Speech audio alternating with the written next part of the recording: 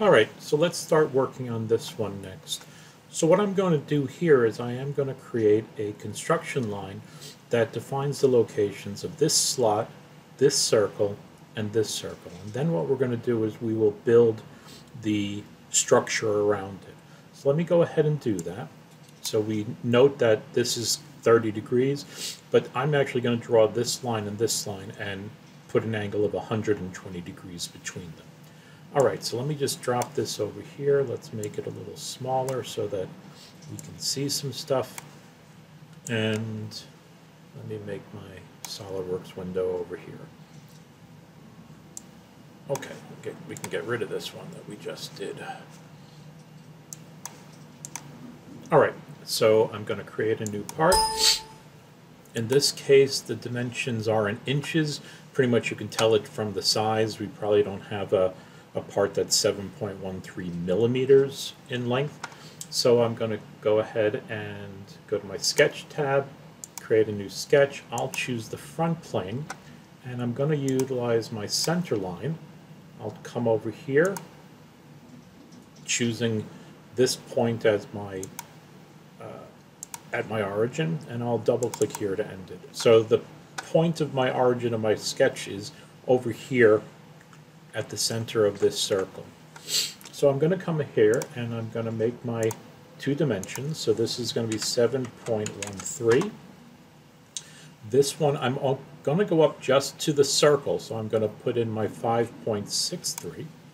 Make sure I'm aligned. So 5.63. And I'll put in my angle. So again, I'm selecting this line. The Smart Dimension tool thinks I want to make the dimension of that line, which I've already done, and then when I select the other line, it knows that I want to make it an angle. So I'll make this uh, 120 degrees, so 90 plus 30 is my 120. All right, so now what I'm going to do is I have a circle here and a circle here on the slot, so let me go ahead and put my two circles in. That one and this one, and I'm going to go to my straight slot tool, and I'll select that point and I'll just come over somewhere along this line. Again not catching the center point. Select and then the third drop is for the thickness or the, the, the diameter of the slot. And I'll hit escape to get out of the tool. Now if we bring this over we'll see that the dimension for the circles are 1.25 but if we look over at the slot we're told that the width of the slot is 1.25 which means, of course, that these circles have to have a diameter of 1.25. So we can make all those equal to each other. So I'll select that circle, hold down my control key, select the other circle, and then the curve of the slot, let go of my control key, and I'll choose to make them all equal to each other. And the dimension is 1.25, so let's put that in there. And then the last thing we need to do is put in the 3.25 dimension to lock down this, the width of this slot. So I'll go to my Smart Dimension tool, I'll just select the edge of the circle and the center point here, and I'll make that um, 3.25. And of course, I'm recognizing that I put this dimension in wrong, so let's double click that. And just make it 5 and I'll hit return. Again, hopefully you'll notice that my sketch is fully defined right now. Alright, so what I'm going to do, and again let me bring this front and center here, is for you to recognize that the circle here, that this is, you know, you might just think that this is just a radius. I'll put this in as a fillet at some point. But actually it's a very important dimension because it's defining a circle here, and then the circle has two lines that are tangent to it. The one that forms the bottom of my part and the one that forms the side on the right hand side here. And then you'll notice that there's a 2.63 dimension coming up here and a 2.63 dimension here. So I'm basically going to be able to draw lines that come off of here and then a perpendicular line off of here that's perpendicular. And this line here is going to be parallel to the center line that I just created. All right, let's go ahead and do that. So let me create my circle, or, or I'm going to select my circle tool. The radius is going to be 1.13, so I'll select here, drag out, use my smart dimension tool, and of course this was one of the mistakes that I had made when I made this uh, the assignment originally because I multiplied in my head 1.13 and came out by came out with an answer of 2.23. So of course I'm not going to do that now. I'm going to go 2 times 1.13 and of course get my value of 2.26. All right, so now let me draw my line here that has to be 7.13. I'm going to select my line tool and notice that when I hover over my circle I get these four um, yellow diamonds. Those define the quadrants of the circle. And for this line, I want to be at the quadrant. It's coming basically tangent right up the bottom of the circle. So I'll select there, and I'll hold and drag and drop to create my line. And the smart dimension there is 7.13. And while I'm here, I might as well, well, I could have done it in one, in one bit, but since I'm talking my way through it, I'll just put in this line, make sure it's vertical, and I'll put in my smart dimension here of 2.63. Okay, so let's do the same thing over here. So in this case, I'm going to select the line. And now again, I have to, I want it to be tangent at some point, but actually let me just move this diameter, this distance back a little bit so we can see a little bit better what I'm going to do. So I'm going to select my line tool and I'm just going to click anywhere here. And you might note that if you click it, sometimes, hopefully, that you'll get this tangency. So it's I know it's going to be tangent. And what I'm going to do is I'm purposely just going to click out up here somewhere.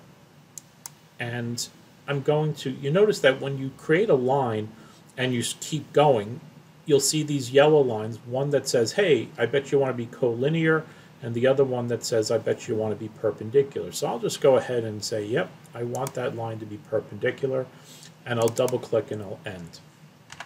All right, so obviously there's a problem here with this one I can drag back and forth, and when I click on this one, I can rotate the part every way. So I don't want that, so I'll select this line and select the center line, holding my control key, and I'll put in a parallel relation.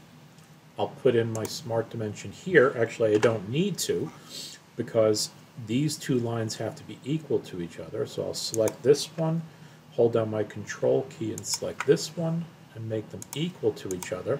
And then the last dimension I need to put in is my 6.75 dimension over here, which is listed as dimension B. So let me go ahead and do that. Remember, I want it to be aligned, and this will be 6.75. Okay, so I can put those in the correct order if I want to, not that it really matters. And now I'm almost done. Well, I have a couple more things to do, but the question is, how do I put these last couple lines in? Well, what I'll do here is I'll click from here, and I'll bring my line so I make sure I get my horizontal, and then what I'm just going to do is I'm just going to drop it here at some arbitrary, arbitrary point and go up to this corner. You say, well, why did I do that? Well, this line doesn't have a specified length because it's coming into this line, which is parallel here. So I just select here and click my center line, let go, and I'll make that parallel again. And as I was expecting and as you'll see, I'm now completely defined. So I put these two lines in without any dimensions and they're fully defined. So I can go in here and put my radius in using the fillet tool. So I'll come up here, this is my fillet tool, and there's two different ways I can do this. Let me put in the dimension here. It's going to be 1.75. And I can either select the point itself, the vertex, and that will give me my fillet. So I'll come over here to entities to fillet and I'll right click and I'll clear those selections. I can also select this line and this line and it'll also give me the entities to fillet. So I'll just say OK. And you'll see that, of course, it deletes out the original corner and puts in my fillet. And notice that it automatically creates my two tangency constraints. All right, so the last thing I need to do is putting these chamfers in. Again, I'll, I'll note now that we can do this as a feature within a solid part, but let's continue doing this. So I'm gonna I'm done with my sketch fillet, so I'll click the green check mark. And we zoom in here, and we'll see that up 1.75 over here on the drawing, and I just create a line that's at 45 degrees. So let me do that. I'm just going to click anywhere here, and I'll just drop a line that's anywhere. And now I'll use my Smart Dimension tool to go from this point to this line and make that 1.75 and I'll go from here to here right using my smart dimension tool to select those two lines and I'll make those 45 degrees. Hit escape I guess I didn't need to because I'm coming up here to do the same thing I'll select my line tool just put a line in double click to end the line use my smart dimension tool from this point to this line, make sure I stay aligned, and again that's 1.75. And I'll go from here to here and make that 45 degrees. All right, now I'm just going to give you an example here. So the part's done now, but let's take a look at a couple things. Again, if you're trying to make this part look like that part, you might run into an issue where you say, let me trim out these lines. Now, I'll tell you what's going to happen right now. When I put this 2.63 dimension in, it's dimensioning this line, right? I could have also put it in, or I could delete it now and make the dimension between these two lines. And why does that matter? Well, if I go to my trim tool now, and when I trim this line out, this dimension is going to disappear. And my whole part or my part is going to become underdefined. So let me go ahead and do that. Right, notice that dimension that was there is now gone. And the same thing, and now this entire line is, is underdefined. So one thing that you might not have noticed was that when this 2.63 dimension went away, it also got rid of that dimension here because remember we use an equal constraint. So I'd have to come back now to fix this and put it both those dimensions back. So let me show you, well, let me prove to you what just happened here. So let me do Control Z. So if I delete that dimension 2.63, now notice I am underdefined now because I don't have that equal sign back here. But let me show you something. If I go to my entities now, um, go to my Smart Dimension tool and select here, and here, and I put my 2.63 back in, I'm back, right? So now if I go ahead and trim entities, and I select here and here, well, this stays fully defined, but now this doesn't, and I would have to go back in here and put in a smart dimension from this line to this line, and make it 2.63. So a lot of extra work, to get back to something that we didn't need to do in the first place. So if I hit Control Z to come back to where I was, okay, so that's where I was before I did all my trimming out. So I want to extrude this. I think the distance was 0.75, so I'll just go to Features, Extrude Boss. Again, it doesn't know what to extrude, so I'll, on my contours here, I'll just select here and this circle. And I'll make them 0.75, hit OK, and there's my part. Okay, so hopefully this helped and gives you another way of doing it. But just like I said with the other part, your best bet right now is to delete the part, go ahead and build it one more time, make sure you get the right the correct dimension. I guess I should check that.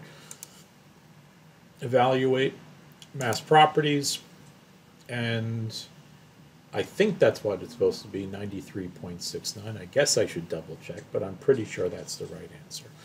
Anyway, I hope you found this helpful, and um, I'll sign off now.